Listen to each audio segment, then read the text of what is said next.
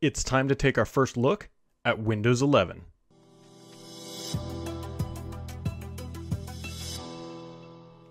Not everyone believed me when I said it was going to be called Windows 11, but it's going to be called Windows 11. Microsoft is going to be holding a Windows event here in a little over a week, but a build of Windows 11 has leaked out to the internet, and I have played with it, and I'm here to give you a first look at Microsoft's quote unquote next generation OS. This is what they're actually calling it. Now, I'm going to roll a video here, but there's a couple things to note. One, this is running in a VM, and I probably didn't give it enough resources, so it's a little bit laggy. It's imperfect. Also, this is a leaked build. It was never intended to be seen by the general public, so there's some unpolished edges, and we don't know what, like, realistically how far along this build was. Microsoft is still constantly updating it ahead of this event, and I can tell you, guaranteed fact, that there are more features and functionality that are not shown in my video that are going to be coming to Windows 11. So this isn't a complete picture, but it is definitely a first look. So let's dive in to Windows 11.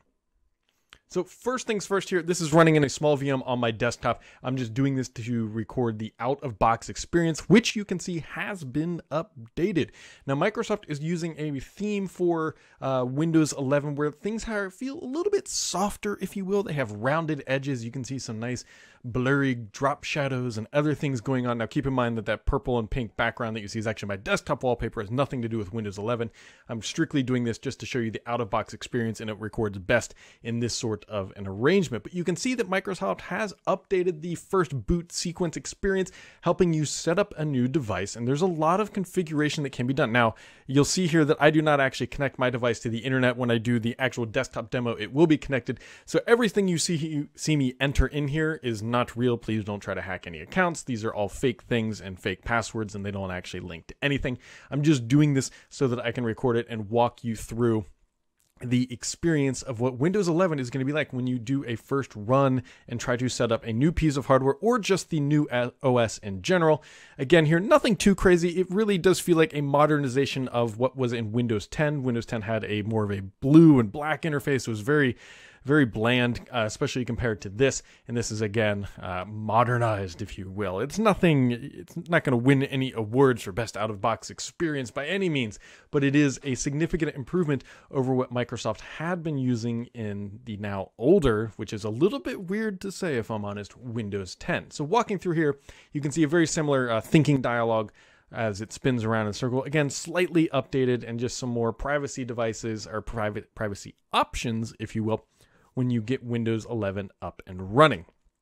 So just clicking through the interface here, you can see again it feels familiar yet different. Now that screen right there is uh, very similar to what is in windows 10 it, there is a very minor update which you will see here getting things ready for you because it's your os uh, but you will see very minor differences here and then i will jump to the desktop. Like there it is! There's the blue background a little blue blobbiness. Makes it just a little bit different than what we had experienced previously but that is the the out of box experience update that is coming with Windows 11. As you can see, just not a whole lot has changed, but just enough that it feels new and different, but it's not quite the same. It's, it's different, but the same, if that all makes sense.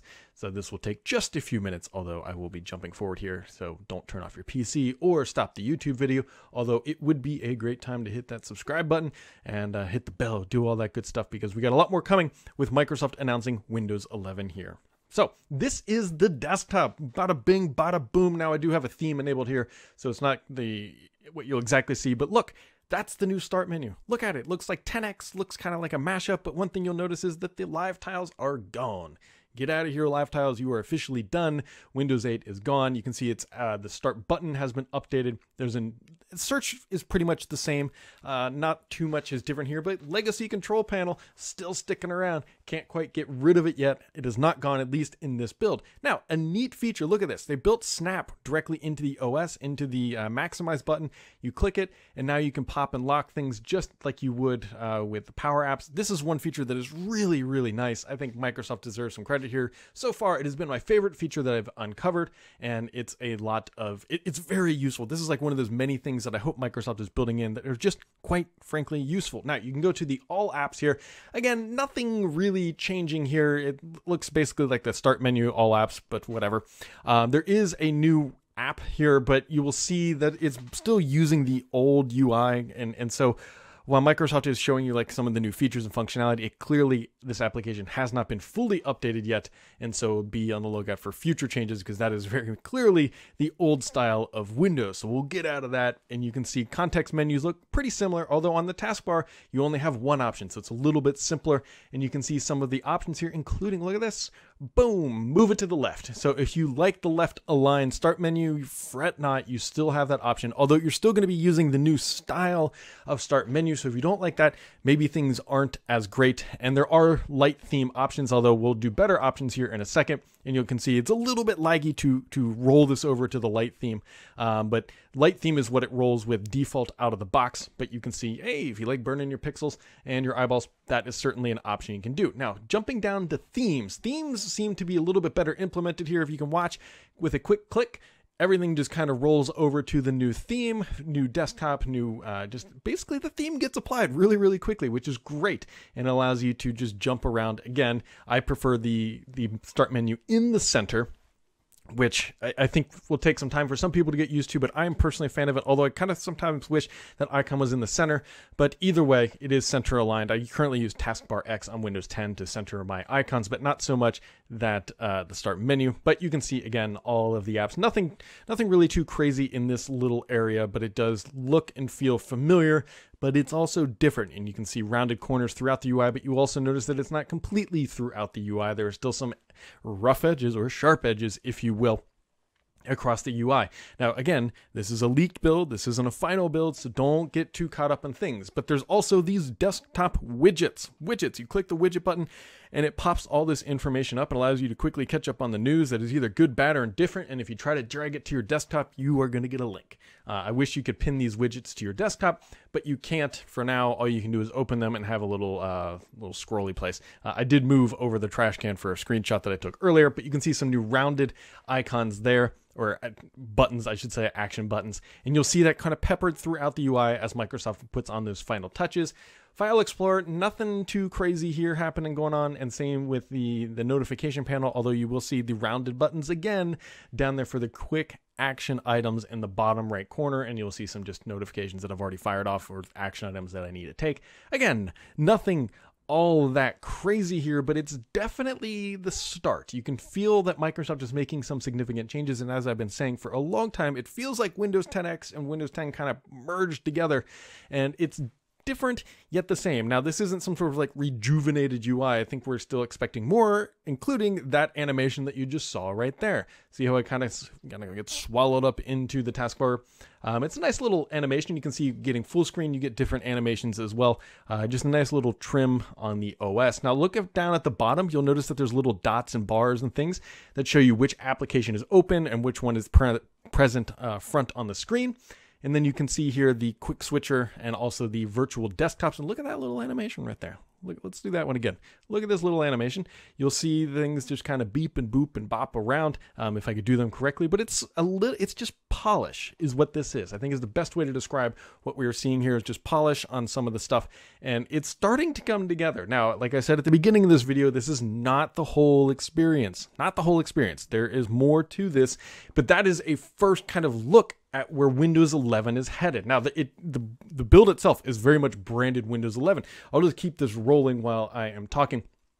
Um, you don't have to agree that Windows 11 is the right name or whatever. It is the name that Microsoft is going to be rolling with when they announce this on June 24th, where they have a big event. There's going to be a lot of other things. There's still things we don't know. We know that there's going to be an updated store experience that is not presently available in this build. We've heard uh, rumors, and I, I can confirm some of them, that Microsoft is looking to make some substantial changes to the way the store operates, including bringing new types of applications and new content libraries to them, meaning things like, hey, Google could put their apps in there uh, and service them directly without having to go through Microsoft, without having to pay the 30% uh, charge or 15% or whatever they're charging this week. Um, there's a lot of other things that still need to come together, like enterprise customers, experience packs, how to experience packs um, we believe are going to unlock even more, get this, experiences in Windows 11. This is not, again, the full experience. This is a, a, good chunk of it, but there's a lot, I shouldn't say a lot more, there's more features to come that are not presently available in this build. So while you might be, I think some people were like over expecting like a complete overhaul of the Windows UI.